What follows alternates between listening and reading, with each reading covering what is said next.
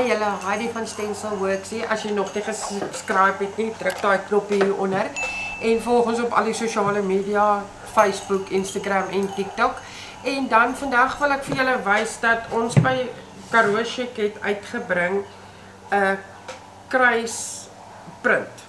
Nou hierdie is Tulip Art se kruisprint. Hy pas perfek op 'n 40 by 60 cm kruis. Um hy gaan dalk 'n bietjie kort wees bo of onder afhangend hoe lank jou kruis nou is. Maar ek gaan vir julle wys hoe maklik dit is om selfs dit in te blend sodat dit na een een soliede stuk werk lyk. So goed, kom ons begin. Dan wil ek net vir julle sê dat ons hierdie prints kruisprints is in verskillende uh designs beskikbaar. Nie net in die tulip art nie, maar ook meer tradisioneel met jou daar is met 'n donkie op, daar is met jou proteas op en met 'n gesegtetjie of dit op. So daar's 'n groot verskeidenheid. Julle is welkom om my te skakel as daar enige navraag is of as julle um meer wil uitvind daaroor. Maar goed, kom ons begin dan. Ek gaan haar nou net eers een kant sit en die wind plaas 'n bietjie vandag. En dan gaan ons begin. Ek gebruik Far Far Away van Calamity dit is so baie soos in die agtergrond van die prent. Die ding is met hierdie ek hou van om my agtergrond lig te hou want dan staan jou prent baie beter uit.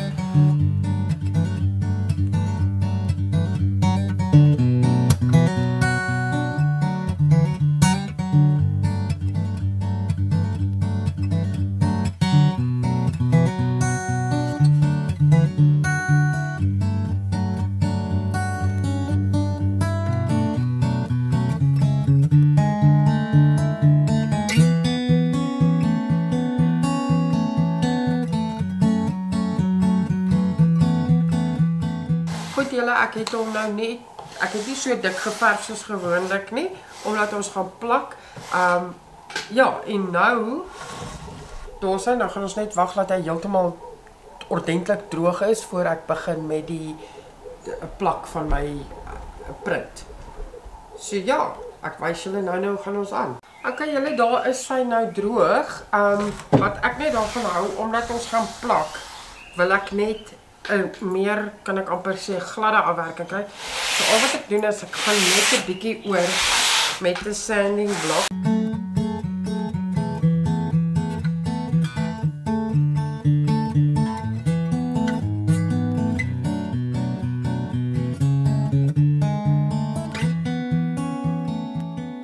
Goed. En dan gaan ons begin om ons prent op te sit.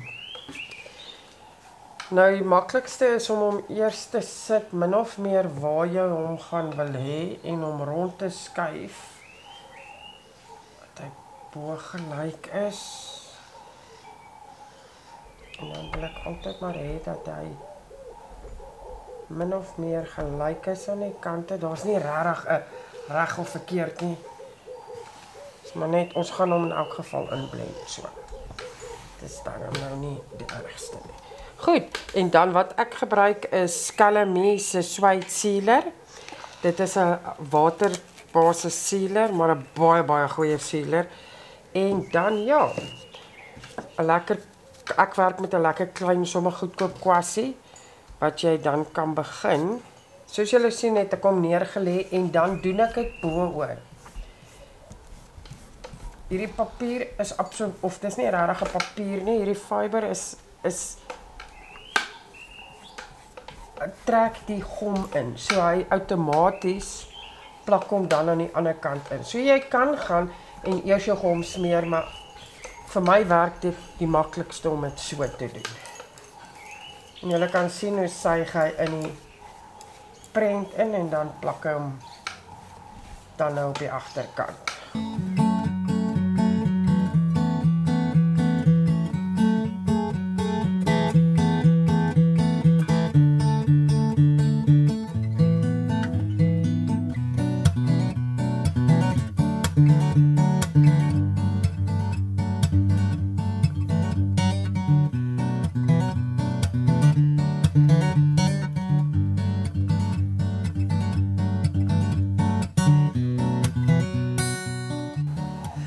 Guys, hy's nou heeltemal droog. So wat ek nou wil doen is om die rande af te haal. Ek het nou reeds die ander gedoen, maar ek gaan net vinnig vir julle hier wys hoe ons dit doen.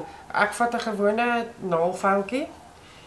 Jy kan tot redelik diep in die hoek inkom en dan al wat jy doen is jy veil hom dan nou af. En as hy los is, dan trek jy hom nou net heeltemal af en daar het jy perfekte rande. Goed, nou ek gaan nou begin met die blending. Dis nou al die dele waar jou papier nie heeltemal toemaak nie. Wat ons nou net gaan inblend laat dit daarom nie, net lyk soos 'n knip en plak besigheid nie. Nou vir hierdie my agtergrond het 'n blouerige as jy kan sien in die is die patroon hier ook en oral is daar 'n bietjie blou, 'n bietjie turquoise en so bietjie van die away kleur in. So ek gaan hierdie drie kleure gebruik om die blending mee te doen. Daar's nie regtig reg of verkeerd in hierdie nie.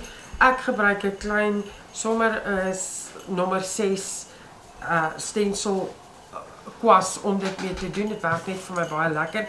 En dan aan die kant gewoonlik begin ek en ek probeer net eers vir my 'n kleur kry wat so na as moontlik aan al daai gaan wees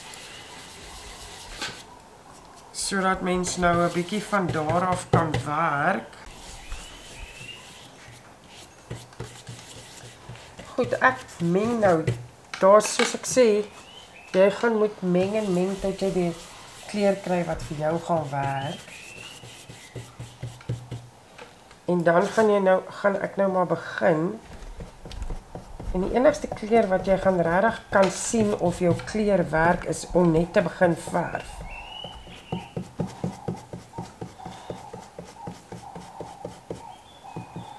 Julle nou hier kan sien, is my kleur vir my nie heeltemal nie, is asof ek 'n bietjie meer 'n dieper kleur moet inkry.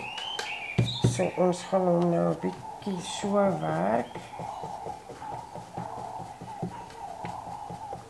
En julle sal sien ek doen baie sirkelbewegings.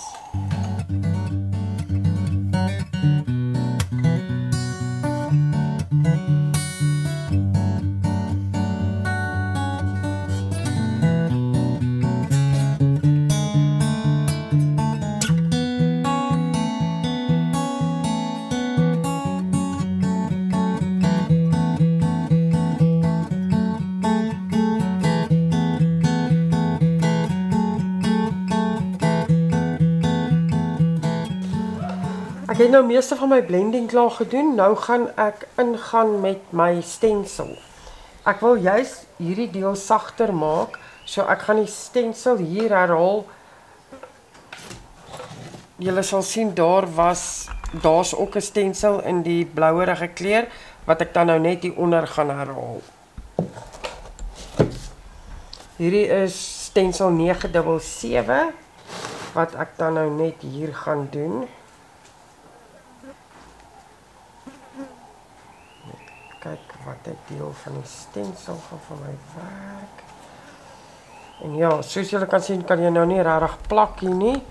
So ek gaan hom nou net my stensel kwas vat.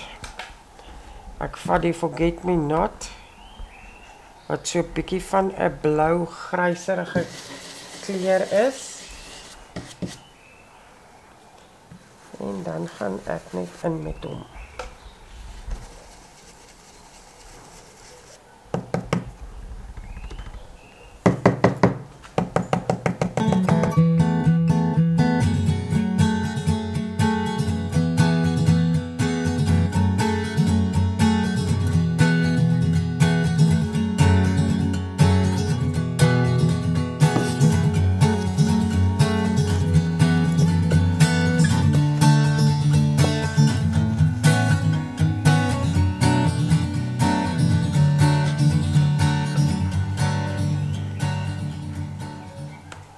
En daar sy, ek het my stensel so bietjie gedoen. Hy het baie ligter uitgekom, so ek kan nou weer oorgaan. En hom net sit daar waar hy vir my bietjie aan die ligte kant is.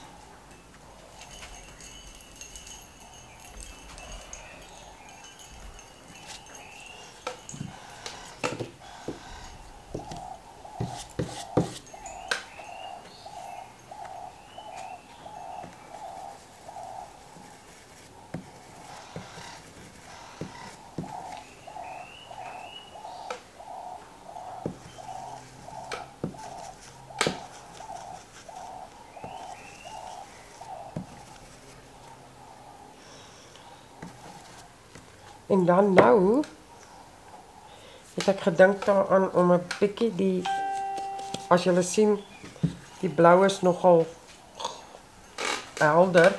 Ek gaan hom nou net so bietjie ligter maak.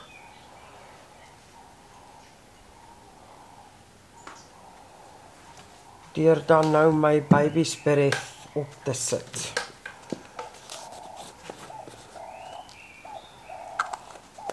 Ek hou daarvan om my goed te skud sodat van die verf van die dekseltjie lê. Dit werk net makliker om dan te werk met hom.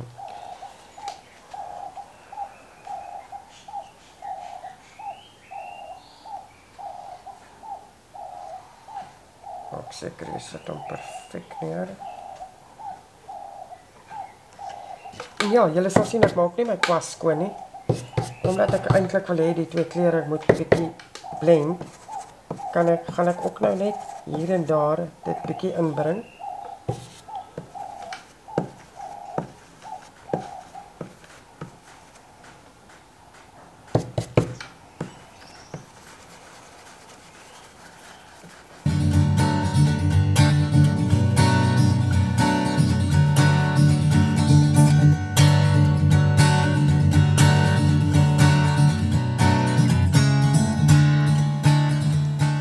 As jy hom afval sal jy sien jy kry half die effek wat jy daarbo gehad het ook. En ja, dan wag jy tot hy heeltemal droog is en dan sou seël jy jou hele projek. En daar sê julle, so ek is nou klaar. Julle kan sien die blending is maar hoe jy dit opbou die verskillende kleure. En ja, die stensel is gedoen. Sy twee sy het een laag siele reg oor aan die kante ook en daar sê ek julle kan op my Facebookblad gaan kyk vir die verskillende prints wat beskikbaar is. En ja, tot 'n volgende keer. Lekker kraaf julle.